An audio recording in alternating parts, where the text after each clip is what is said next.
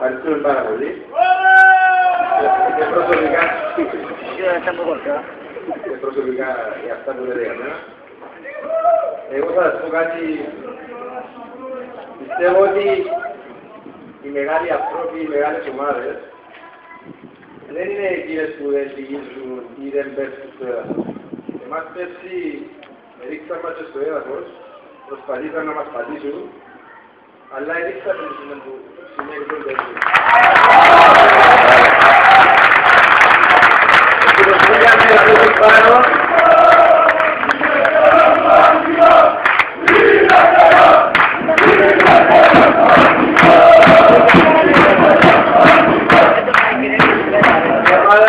σηκώθηκε να πέσω πάνω και ξεκίνησε να πολεμά με τη βοήθεια σας. Όταν είπε ο πρόεδρος να αλλάξει η νοοτροπία η ομάδα, είμαι σίγουρος ότι ενώνασε τον κόσμο. Γιατί πέρσι, τα δύσκολα, δεν είχαμε αυτά που είχαμε τα προηγούμενα χρόνια. Ο κόσμος ήταν πάνω στην κερκίδα και φώναζε υπέρ της ομάδας. Ζητούμε τη βοήθεια σας και φέτος, διότι το πρωτάθλημα θα είναι πολύ πιο δύσκολο. Όμως, είμαι σίγουρος ότι η χαρά που θα έχουμε στο τέλος του πρωταθλήματος θα είναι μεγαλύτερη από αυτή της περσινής. Ευχαριστώ.